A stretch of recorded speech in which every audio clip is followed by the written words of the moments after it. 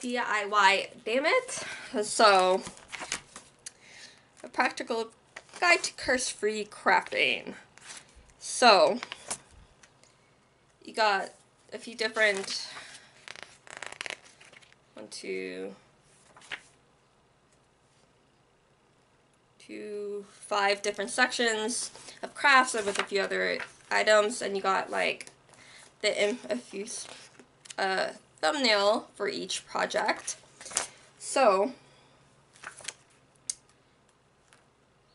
and you got a little how this book works kind of thing, and benefits of DIY crafting,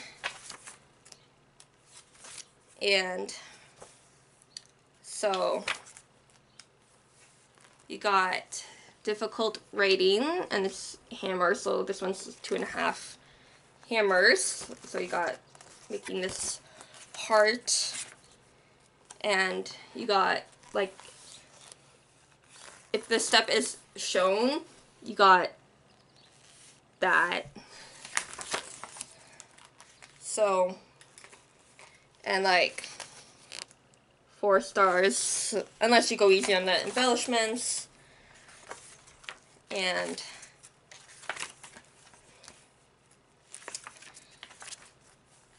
so you got like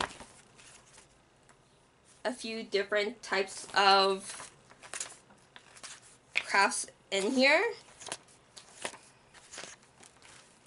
And like two, two of the steps point to the image.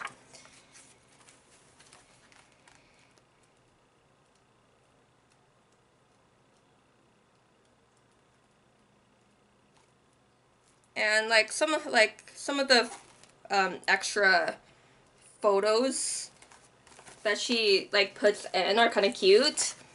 So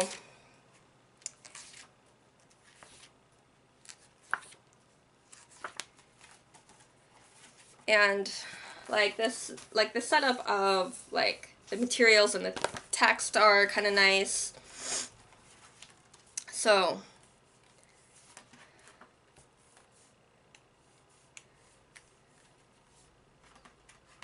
Yeah, what I've learned from failing. And then you got resources. So you got her, like, you got her website, DIYDammit.com, almost makes perfect.com. You got Crafters Bee Shopping.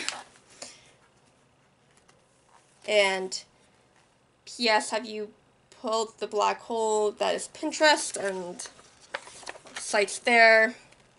And so cute little image like photographs when it's not concerning the project, but like I've seen some of these DIYs before, but it they're how she has done them and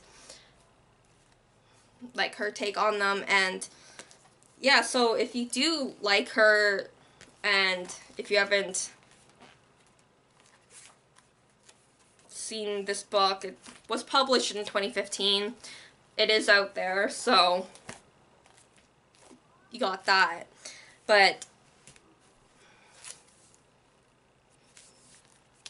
like if you're into doing DIY crafts and stuff, like me, could get it from your library if it has it, or like purchase it, possibly find it as an ebook or something. But yeah, DIY Dammit by Jocelyn Hughes. Happy readings.